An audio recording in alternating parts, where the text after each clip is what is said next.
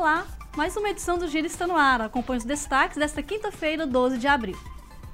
16 postos de combustíveis foram autuados pelo Ministério Público de Minas Gerais.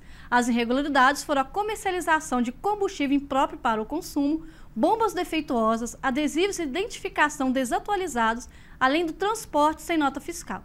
30 fornecedores foram fiscalizados em 57 municípios. De acordo com o PROCON de Minas Gerais, os produtos recolhidos serão doados para a Polícia Militar do Estado. O outono é a estação do ano que reúne características tanto do verão quanto do inverno. Veja os detalhes da previsão do tempo com a repórter Letícia Gló.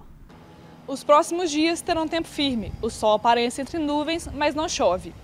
Amanhã e durante todo o fim de semana, a temperatura mínima será de 16 graus e a máxima gira em torno dos 29 graus. Na próxima semana, pode esfriar um pouco.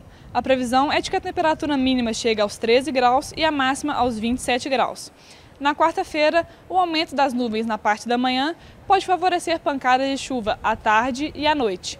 Letícia Glor, para o Giro.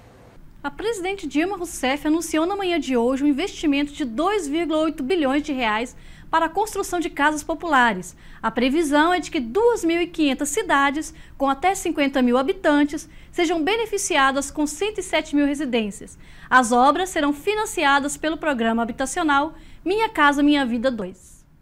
Essa edição do Giro termina aqui. Obrigada pela companhia e uma ótima tarde para você. Nos siga também pelas redes sociais. Até a próxima. Tchau!